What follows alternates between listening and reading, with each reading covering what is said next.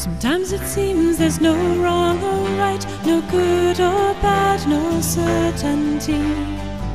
In this world of faded light, only God offers clarity.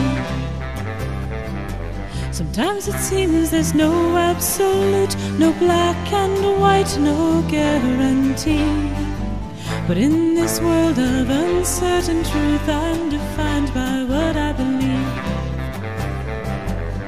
I believe in God Almighty and in Jesus Christ, His Son.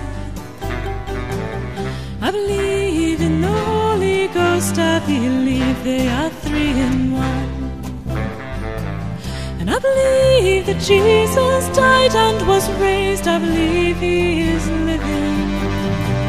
And because of His sacrifice, I believe that I stand here forgiven. Sometimes it seems there's no room for faith, no place for love or charity. When I'm lonely and afraid, it is Jesus who rescues me. Sometimes it seems there's no stable ground, no compass point, no constancy. But in this world more lost than found, I can stand on what I believe. I believe in God Almighty and in Jesus Christ, His Son.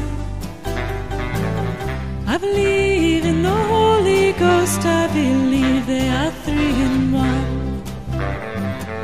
And I believe that Jesus died and was raised, I believe He is living. And because of His sacrifice, I believe that I stand here forgiven. I believe in God Almighty, the maker of heaven and earth. I believe in the Bible's truth, I believe in the virgin birth.